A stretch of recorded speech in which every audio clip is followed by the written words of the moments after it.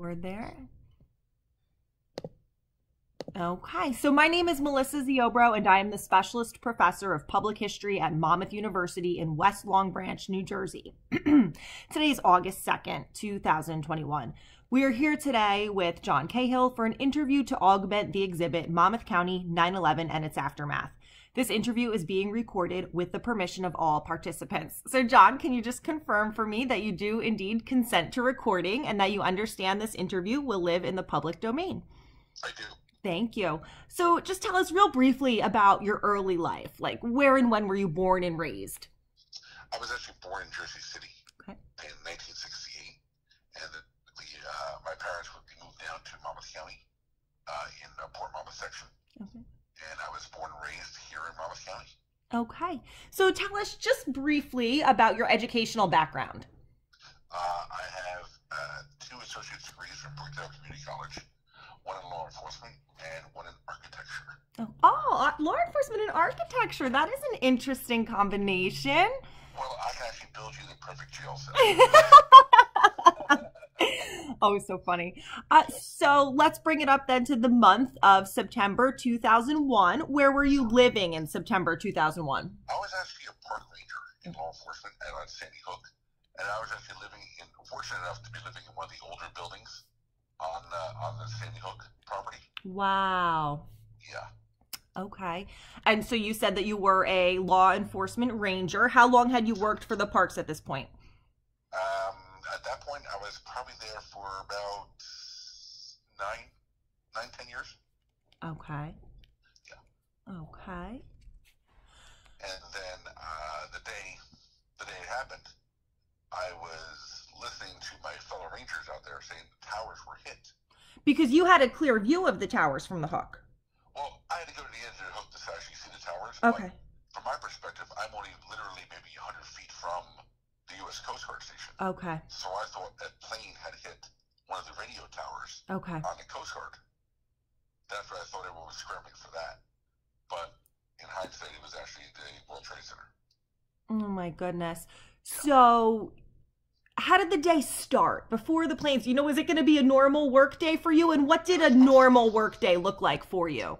I was, it was I was actually supposed to work uh, eight to four, and um, I got dressed, ready to leave, go to work, and then I started turning on my uh, my patrol radio that we brought home with us, Okay. and then from there, um, literally, it just started happening. That the tower, uh, tower was hit by a plane. Not knowing anything else, I started going towards the Coast Guard Okay. and I was quickly directed to go to our uh, police headquarters out there and um, grab a long gun, which was our, our shotguns at the time, and then report to the observation deck uh, at the tip of Sandy Hook, because that's where crowds were gathering to view New York City.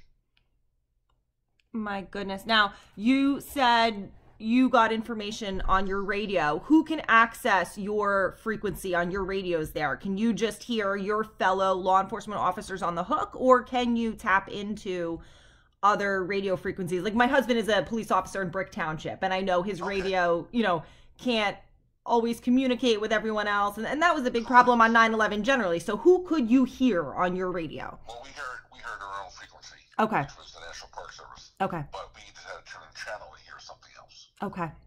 But uh, I'm sure everything has changed since then. Yeah. Okay. But um, mostly, mostly it was our park ranger, our park dispatch, Okay. Auto Party Gateway. Okay. And how does the day unfold from there? Well, I quickly went home on my way to uh, the police station. I, w- I turned around, went back home. I threw a VHS tape in my recorder and turned on channel 7, plugged it in, and hit record. So I wanted to hear and record and watch this later of everything that was unfolding. Wow. Yeah. So actually, I went through three VHS tapes by just you know keep on going home, recording, re- recording, and so on.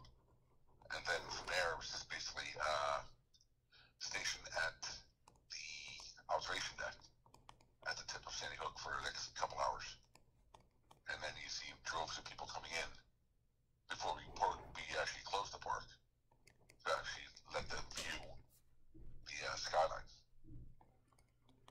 Uh, Mary, Yeah. Mary sent me three photos that you took. Were those taken from the observation deck? Yes, I believe so. Wow. hmm Now, who was making the calls on the park about where you and the other law enforcement rangers are going and when you close the park? At that time, it was basically just the uh, the supervisors that were working that day at Sandy Hook. Okay. But I think it, later on it became a bigger story. So the people over in Gateway Okay. in New York were making the uh, decisions. Okay. At this time, you know, you mentioned having the foresight to go back and put the VHS tapes in is just incredible. Um, did you have family you were worried about or you were trying to keep track of or Uh, most like, well, most of my family was actually uh, working in New Jersey. Okay. That one worked in New York. Okay. Good. Yeah. Um, I knew where everyone was. I talked to my parents. I talked to my sisters, and uh, everyone was, you know, just unfolding with the chaos at that point. Yeah. This was a few hours later, Yeah. and then um, they were discussing. We had a Park Service boat. I was a part of the, the unit there for the Park Service, Okay. so we were gathering information to actually go over to either shuttle people off of the island Yes. back over to New Jersey. But uh, that didn't happen until later on in the evening, Okay. and they were used we were used for a security purpose. Okay. So I ended up working.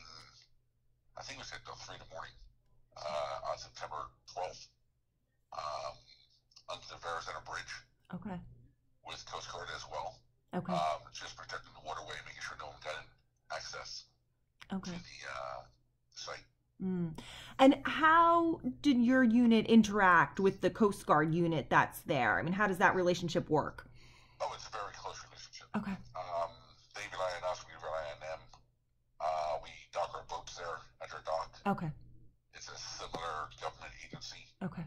so basically it was uh, hand in hand. Okay. How well did you feel that your chain of command that day communicated about what was going on and what needed to be done? I think everything that day was pretty much off the cuff. Yeah. They were thinking on their feet. They were basically not going by a set plan or a set of rules at that point. Okay. It was basically just safety and protection. This segues into my Not next. going- Yeah. Oh, I'm sorry. I was just going to say this segues into my next question, which is, you know, were you all used to doing any type of terrorism or other emergency preparedness drills or anything like that? Well, we get drills every every year. Back then, it was a 40 hour refresher Okay. for law enforcement, Okay. and that would happen during summer, uh, right before the uh, season was to take off. Okay. So we had to do that every year. And what would those look like? We would touch on everything from terrorism to uh, protection of the beach, protection of the wildlife, Okay. protection of the public, uh, rules and regulations for uh, user state uh, codes, Okay.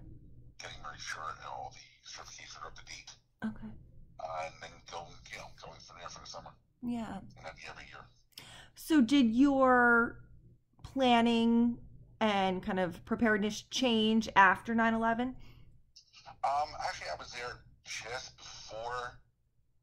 No, I would say probably um, a year or a year and a half Okay. after 9/11. Okay. I was working in Sandy Hook still. Okay. And then um, I had recently, in 1998, put an application with the Port Authority. Oh. So I'm actually currently a Port Authority police officer Okay. now, but um, I was definitely in the process of the waiting list or whatever and going forward from there. Oh wow, so that must have been especially emotional for you knowing that you want to join the PAPD and, and seeing their role and, and their losses that day. Oh, exactly. Oh my goodness. Exactly. I didn't know anything about the Port Authority before 1998. Wow. And then uh, one of my other fellow rangers there actually convinced me to go take a test. So I took the test, took the process, background verification, and I was hired in 2002. Oh wow. What was it like joining the organization in 2002 given the devastating losses they had suffered and, and I imagine It the was definitely eye opening. Yeah. Um, they were very, uh, I wouldn't say symbolic, but uh, the World Trade Center was their home, yeah. their background. And then uh, going into that and trying to rebuild everything from scratch, you get a lot of emotion from other people who were there before, Yeah. during, and after. And then a bunch of us guys, new hires come in, Yeah. and they were just seeking out anyone with a law enforcement background Yeah. to go ahead and uh, you know, apply, and then they were hiring. So I think during that time there were probably probably 800 people that were hired Oh wow. agencies right away Wow. just to build up their ranks. Yeah. Oh, wow. So, back on the hook, you noted, uh, and I know from my research that they closed, but but not for long. Actually, they're reopened within a couple days. Is that your recollection as well? I believe so. Yeah, I know we, we were in the middle of uh, chaos, not really knowing what was going on. Uh, I know the airspace was closed Yeah. over the uh, New York City, and we pretty much were engulfed in a New York City airspace. So I remember that on that day there were F-16s or F-18s, wherever they were, flying around, and they were turning around everyone. Mm, Maybe you know private planes wanting to get a closer look or whatever. yeah. They were turning away boats.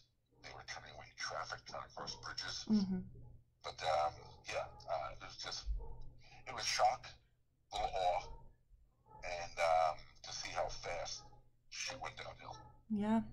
on that deck. Yeah. And then I was up on the observation deck, and then I recall people listening to their little ham radios, the little radio uh, they brought with them, and it was just increasingly getting worse and worse Mm, with misinformation coming by. One person was saying one thing, and would tag it, they, boom, boom, boom, boom. This is what's going on. Okay, the Pentagon was hit. Okay, uh, there's, there's another plane heading towards the Statue of Liberty. Or there was another plane heading towards a bridge. And it was just, no one knew what was going on.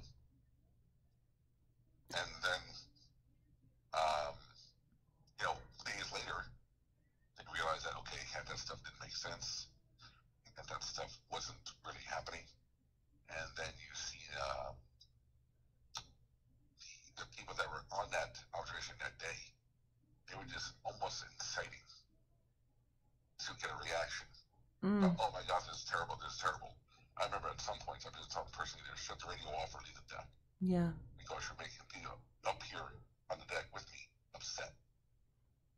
And that just wasn't happening. It was a deck maybe 12 foot by 12 foot. And people were just struggling to get to the take a better look. Mm, Plus, it was a great observation to, to see with the skyline. yeah. But to have all that happen, it was like, well, make a decision. Shut your radio off or leave the deck. Yeah. And basically, they just left the deck. They wanted to hear what was going on, but, you know, a lot of different people had different uh, ways of coping with it. Yeah. because there was a lot of stress that day with everything going on, and most of the people were sympathetic, just want to see their own eyes. And actually, I was up there. I think I don't know if you had one of the pictures from Mary or not that uh, I took that day from the observation deck when the second building collapsed. So I was there for that, and that was just stunned. And that's when stuff really got real as far as we shut the park down that night, shut down for a couple days, try to regroup, be on the boat, going to the Verrazano. Um, I was there for a good six, seven hours before I was relieved. And I'd be back at six in the morning. We had stopped uh, traffic, I believe, at the ranger station, which was in the midway Sandy Hook. And then I think you push it back to the uh, Go booth at the beginning of the park. Mm, Uh, I think then we opened up a couple days later. I don't remember when, but uh, I think everything returned to normal quite quickly as far as normal day operations. Yeah. But that's what I'm getting at right now. That's really that's so insightful. That's really helpful. Thank you. Sure. Um, you referenced other pictures you took that day. Mary sent me three, um, and it's kind of just the view of the towers, which is very helpful in illustrating the proximity, you know, to Monmouth County's coast, right, right across the water there. Do you have a lot of photos from that day? I have photos from that day, but to find them again, Okay. was, um, I believe they were on a. Uh, it was called by Sony Mavica. That's I was gonna ask next what you took them on because my students, even my kids, my kids are ten and thirteen, can't fathom that people didn't have cameras taking, you know, camera phones taking pictures constantly. I said, guys, no, it wasn't a thing. no, this was actually one of the first uh, digital cameras that came out. Really? And the camera had to be the picture was actually on a floppy, uh, three and a half inch floppy disk. Oh wow! Yeah, so the, I mean, do you remember They were kinda just just because it's funny? I and I know my graphic artist is going to ask. Do you remember what the phone was? What did you say it was? No, it was the camera itself. Oh, it was a camera. Okay, Yeah, it was the Sony Mavica. Sony Mavica. Okay. Oh, yeah. And it was, um, I remember buying it at Office Max. And um, it was a thousand dollars back then. oh my God. Yeah. And um, you can take up, I think it was 20 pictures on a floppy disk. Oh my God. Take a small movie on it, but the grain, the graininess was there. And uh, it was just, you know, it was new tech at the time. Oh, I love it. That's that's a Yeah. cool part of the story as well. Yep, yep. So, did you feel like 9/11 changed you in any ways? Oh, Definitely, hundred percent, hundred percent. Um, I got a job out of it. Not that you know I taught that a little bit, but uh, I'm glad I was able to leave Sandy Hook Yeah. and um, pursue another career in law enforcement. Yeah. I um, got married from um, the Port Authority. Oh. Yeah. So, um, and I'm right now I'm currently stationed at uh, Newark Airport. Oh my goodness. You know, I, I was going to wait until we got off the call. Do you know John Durham by any chance? He's retired. Yes, my that's my dad's best friend. They went through the police academy together oh, and there we celebrate every event with like they're family to us. yes, great oh, that is so funny. so it but I mean, yeah. really changed the course of your life. Oh my God, hundred percent, hundred percent. When you do research into this period, there was a significant uptick in attendance at religious services following 9/11. Did Right. that impact you in any way? Did it change your faith or or you're not Um, a religious person? It didn't change. It didn't change my faith any. Yeah. I mean, I know it would happen. I know it did happen. Yeah. Uh, going a little deeper with some intelligence I would, that we were getting as law enforcement Yes. compared to what the public was getting was different. Um, I know uh, working on Hook for so long, um, the, you start to see more people coming. Yeah. Uh, everyone wanted to see a sunrise or a sunset. Mm. Uh, you get more increase in that. Yes. You know, the faith was out there. We have a small church out there. Yeah. It wasn't used as a church now, but um, you know, people wanted to be pray on the beach and stuff like that. Yeah. You know, sit peace with themselves. Mm. Uh, a lot of people, when they talk about the period following 9 11, they talk about an intense patriotism that seemed to exist. Do you remember that? 100%. Yes. Yes, we have a, um, I believe it's a 100 by 300 garrison flag, Mm. and that was flown for quite a while in Sandy Hook. Mm. What were your thoughts on the so called global war on terrorism that followed 9 11? Oh, we were just all beat up on anger. We wanted to know who did it. We wanted to go there. We wanted to kick ass and come home. Yeah. you know, and um, then you know, then the politics came effect. Then money is an issue, and then everything else. You know, it became a, a political windstorm after that. Yeah. You know, but uh, yeah, we want to know who did that day. We want to know when we're going into attack. I'm sure everything was up as far as picture. The flags were probably all sold out. Um, I'm, I'm, I'm gonna guess probably uh, the military got a big increase. People want to become, you know, part of the military and stuff Yeah. like that. But yeah, I mean, one other thing I do remember before I forget this one was the eerie silence of the airspace Oh. over Sandy Hook. We are they use the pilot use Sandy Hook as a uh, as a guide for landing on JFK and LaGuardia because it's pretty much lined up. And I worked as a dispatcher a long time ago before law enforcement was. And I remember working on midnights and we see a steady steady line of white lights from the Mm. landing lights going towards uh, you know J- JFK and, and LaGuardia. But um, I remember when President Bush at that time shut down airspace totally. Yeah. Everything went down. And it was just an eerie silence. And it was almost like awkward to hear the plane start up again and flying over a couple days later. That I do remember. Mm. That's so interesting. hmm Okay, well, that brings me to the end of my questions. Is there anything else you'd like to share that we haven't covered? Any other memories like that? I, I, I think we covered it pretty much. I mean, I'm going back over 20 years. Of course. I know, I know. All right, I'm going to hit stop here.